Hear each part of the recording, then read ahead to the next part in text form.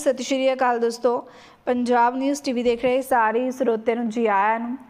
ਪੰਜਾਬ ਦੇ ਜ਼ਿਲ੍ਹੇ 'ਚ ਸ਼ਾਮ 5 ਵਜੇ ਤੋਂ ਬਾਅਦ ਲਗਾਈ ਗਈ ਇਹ ਪਾਬੰਦੀ। ਉਲੰਘਣਾ ਕਰਨ ਤੇ ਕੀਤੀ ਜਾਏਗੀ ਕਾਨੂੰਨੀ ਕਾਰਵਾਈ। ਵੱਡੀ ਖਬਰ ਆ ਚੁੱਕੀ ਖਬਰ ਨੂੰ ਸ਼ੁਰੂ ਕਰਨ ਤੋਂ ਪਹਿਲਾਂ ਜਿਨ੍ਹਾਂ ਲੋਕਾਂ ਨੇ ਚੈਨਲ ਨੂੰ ਸਬਸਕ੍ਰਾਈਬ ਨਹੀਂ ਕੀਤਾ ਸਬਸਕ੍ਰਾਈਬ ਕਾਲਮ ਤੇ ਵੀਡੀਓ ਨੂੰ ਹੱਥ ਤੋਂ ਲਾਈਕ ਤੇ ਸ਼ੇਅਰ ਵੀ ਕਰ ਦੇਣਾ। ਹੁਣ ਜ਼ਿਲ੍ਹੇ ਵਿੱਚ ਇਹਨਾਂ ਥਾਵਾਂ ਤੇ ਪਾਬੰਦੀ ਲਾਈ ਗਈ ਹੈ ਜਿਸ ਦੇ ਚੱਲਦੇ ਡੀਸੀ ਰਾਜੇਸ਼ ਧੀਮਾਨ ਨੇ ਇਸ ਸੰਬੰਧੀ ਹੁਕਮ ਜਾਰੀ ਕਰ ਦਿੱਤੇ ਨੇ। ਇੰਨਾ ਹੀ ਨਹੀਂ ਸਗੋਂ ਹੁਕਮਾਂ ਦੀ ਉਲੰਘਣਾ ਕਰਨ ਤੇ ਕਾਨੂੰਨੀ ਕਾਰਵਾਈ ਕਰਨ ਦੀ ਚੇਤਾਵਨੀ ਦਿੱਤੀ ਗਈ ਹੈ। ਜੀ ਹਾਂ, ਫਿਰੋਜ਼ਪੁਰ ਜ਼ਿਲ੍ਹੇ ਦੇ ਵਿੱਚ ਸ਼ਾਮ 5 ਵਜੇ ਤੋਂ ਬਾਅਦ ਸਰਹੱਦੀ ਖੇਤਰ ਦੇ ਵਿੱਚ ਡੀਜੇ ਵੱਜਣ ਤੇ ਮਨਾਈ ਹੋਏਗੀ ਤੇ ਡਰੋਨ ਵੀ ਨਹੀਂ ਉਡਾਇਆ ਜਾਏਗਾ।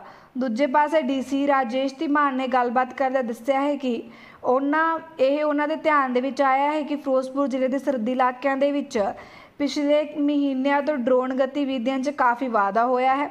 ਇੰਨਾ ਹੀ ਨਹੀਂ ਸਗੋਂ ਡਰੋਨਾਂ ਕਾਰਨ ਨਸ਼ਿਆਂ ਦੀ ਤਸਕਰੀ ਦੇ ਵਿੱਚ ਵਾਧਾ ਹੋਇਆ।